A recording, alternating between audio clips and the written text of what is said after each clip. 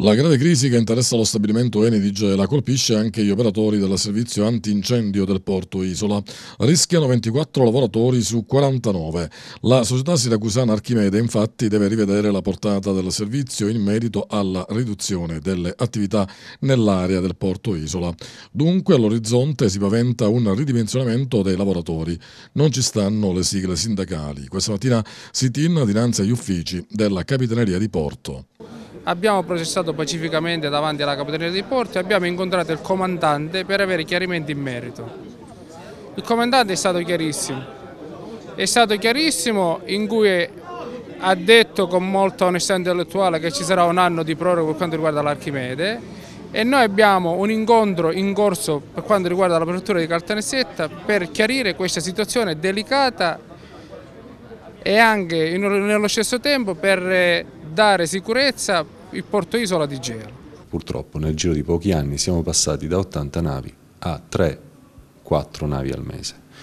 Di conseguenza, come abbiamo visto, un adeguamento di tutti i servizi, dagli ormeggiatori ai piloti, i piloti erano 5, ne è rimasto uno, gli ormeggiatori sono rimasti in 16, erano 20, ci serve anche un adeguamento per quanto riguarda gli altri servizi. Un adeguamento che non debba essere, non debba rientrare in licenziamenti o misure drastiche.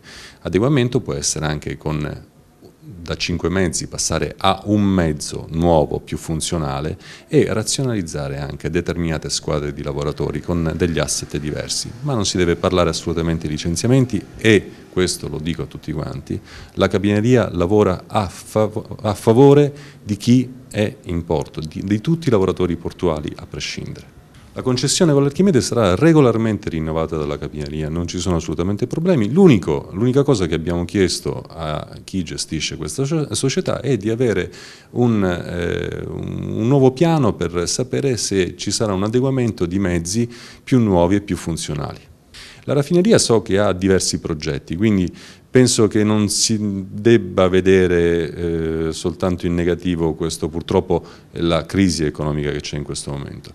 Eh, naturalmente non potremo mai tornare ai tempi di, di 10-15 anni fa, questo è, è, impossibile, è improponibile assolutamente, però penso che ci sia la possibilità che la raffineria cambiando eh, determinati obiettivi possa sempre fornire la possibilità di un posto di lavoro e di avere un, un nuovo modo di lavorare a Gela.